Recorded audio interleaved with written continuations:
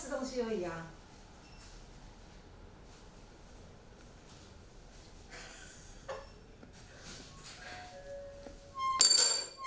这方面就可以慢一点。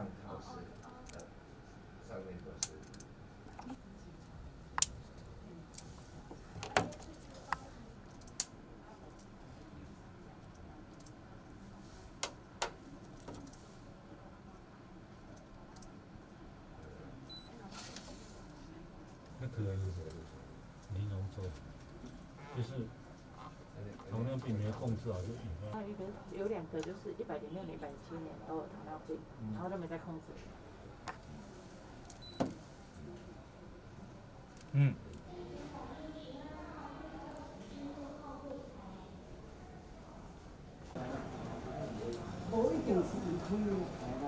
那五十二岁的陈先生哦，他来门诊的时候是，就是说抱怨说他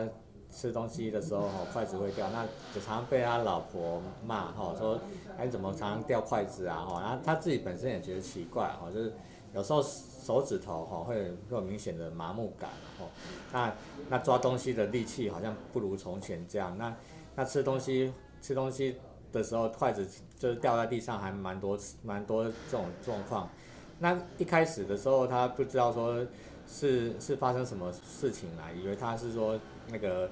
诶，做末梢末梢末梢的循环比较差，或者天气冷变迟钝而已。哦，但是他，但他后来还是觉得说要来看医生了，所以说来门诊的时候就就就来询问说是这方面是不是有什么状况啊？他其他其实五年前就有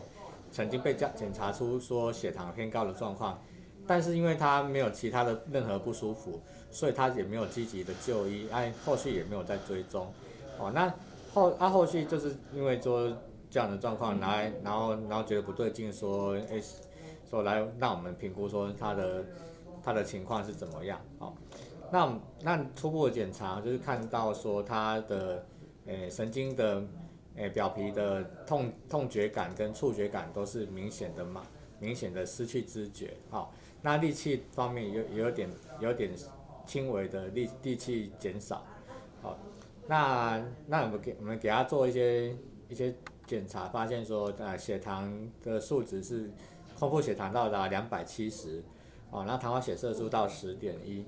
哦，那进一步的又帮他做神经传导检查，哦，有发现说他的那个神经传导速度变慢，哦，然后哦。然后神经传导的电位也也变小，那是很明显的一个周边神经病变，哦，然后因此因此就是就是说给他持续的给他给他周边神经药物的治疗，哦，然后然后然后他经经过两个月的治疗之后，哦，症状有在持续改善，那那同时也也让他去做复健，好啊，这是经过两个月的复健跟药物说。症状改善的还不错啊，周边神经病变它就是周边神经损伤的一种，它是主要是神经纤维受到受到一些化学物质的破坏，或是说受到外力的伤害。那目前周边神经病变的病人就是糖尿病是占最多哦。那周边神经病变发病的初期，它会可能会有麻木感，或是说刺痛感哦，或是或是。或是行动变得迟钝，哦，啊有有些病人对冷热变得迟钝，哦，或啊或者是说出现伤口，但是他并不觉得说那边有什么疼痛感这样子。那如果说没有没有及时处理，有时候伤口会恶化，甚甚至需要清创的治疗，哦，那那糖尿病的病人，糖尿病的病人的话，为为了避免周边神经病变，必须要把血糖稳定的控制。那我们建议说。哦，饭前的血糖尽量控制在一百二十以下，那糖化血色素控制在七以下这样子。那对于手脚的部分哦，要特别的保护，那避免受到刺激跟伤害。那也可以戴着手戴手套、穿袜子来保暖。那那常那随时检查说手部跟脚部有没有伤口。请一号柜台。